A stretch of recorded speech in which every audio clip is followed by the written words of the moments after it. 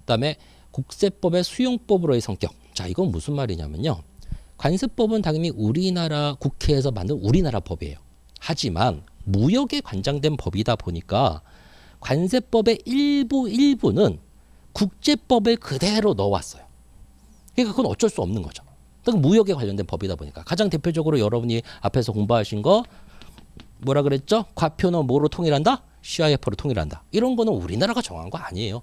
WTO에서 정한 거예요. 그러면 근데 그게 그대로 우리나라 관세법에 들어가 있어요. 그러니까 곳곳에 그런 게 있을 수밖에 없죠. 그거를 국제법을 수용했다 이렇게 표현해요. 조심하실 거 국제법은 아니에요. 수용했을 뿐 일부 일부가 수용됐을 뿐 국제법은 아니죠. 네, 그래서 그거 조심하시고요. 그다음 행정법적인 성격. 모든 법은요 행정법이에요.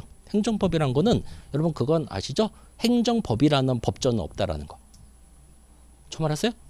행정법은 법전이 없어요. 행정법이란 법전은 없어요. 그냥 이 세상에 있는 모든 법은 행정법이에요. 왜? 행정법이란 건 이런 거예요. 법 속에 있는 획일성, 강제성의 개념이에요.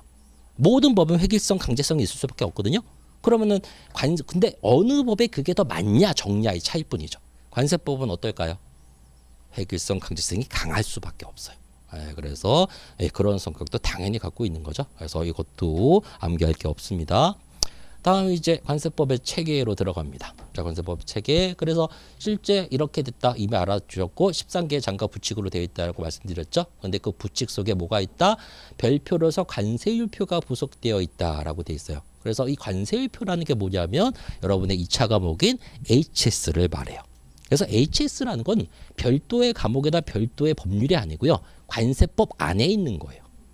예, 그래서 그럼 관세율표가 뭐냐 이거를 좀 보셔야 되겠죠. 예, 그래서 원래는 좀 뒤에 있는데 먼저 보세요.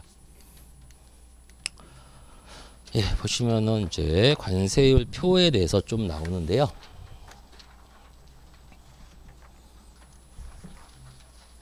이거는 뭐 지금 이거를 여기서 하겠다라는 건 아니에요. 그냥 관세율의 HS에 대해서 궁금하시는 분들이 많은 것 같아서 제가 좀 많은 양을 실어 드렸어요. 그래서 이걸로 그 의문점을 해결하세요. 근데 제가 여기서 다 해버리면 2차에서 공부할 게 없잖아요. 그러니까 저는 그냥 대충 감만 잡을 수 있도록 개념을 잡아드리고 좀 더 궁금하시면은 이걸 자세하게 한번 읽어보세요. 예, 그러면 HS가 어, 대충 어떤 건지를 아시게 될 겁니다. 예, 우선 뭐 개요 뭐 이런 건 이제 여러분이 한번 보세요. 그래서 어, HS라는 거는 자 이렇게 외국에서 만든 거예요. 그래서 HS는 뭐의 약자냐면 하모나이드 시스템의 약자예요. 이렇게 긴 명칭 중에 자 요거하고 요거만 따서 HS라고 부릅니다. 예, 그래서 다른 표현으로 요 단어만 따갖고 조화제도 이렇게 부르기도 하죠. 예, 그래서 요게 HS의 full name이에요. 저 international the international부터 시작해갖고 이게 full name.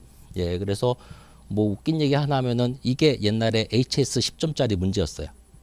HS 플레임에 대해서 적어라. 네, 그래서 아무도 못 적었어요. 근데 어쨌든 예, 이게 full name이라는 거 알아두시고 그래서 뭐 이거에 대한 국제 협약이에요. 예, 그래서 WTO 가입국이라면 다 이 협약을 전부 따릅니다. 예, 그래서 그거고 이런 것에 대해서 또 예, 여기서 말 그대로 어, 제정해서 CCCN 촉이라는 곳에서 이런 부속서로 확정되고 그걸 우리나라는 그대로 받아들인 거죠. 예, 그래서 그럼 HS가 특징이 뭐냐면 뭐 정의 이런 건 됐고요. 우선 2번 목적 용도 같은 걸 좀 보세요. HS가 존재하는 이유는요. 바로 여기 나와 있죠. 어, 관세, 통계, 운송, 창고, 무역거래 모든 분야의 공용으로 사용해서 만들어진 다목적 다용도 품목분류표예요. 그러니까 이게 어느 한 분야에만 쓰는 게 아니고 전체 모든 무역, 무역이라는 게 뭐예요? 통관도 해야 되지, 운송도 해야 되지, 창고에도 가야 되고, 통계도 잡아야 되지, 모든 이런 개념이 있거든요. 이런 개념에 전부 다 사용되는 개념입니다. 예, 그래서 왜 그러면은 굳이 저렇게 품목 분류를 해야 되느냐? 어, 물류라는 거는 어마어마한 물류가 뭐예요? 물건의 흐름이죠. 여기서 물건의 구분을 하지 않으면은 도대체 말 그대로 적용, 이게 어떤 정리, 질서가 유지될 수가 없어요. 뭐 쉽게 말해서 어, 어떤 물품을 어, 논하는데 무역적인 개념에서 얘네들이 생각하는 어떤 물건과 전혀 다른 문화를 가지고 있는 사람들이 갖고 있는 그 용어의 그 물건은 다를 수가 있어요.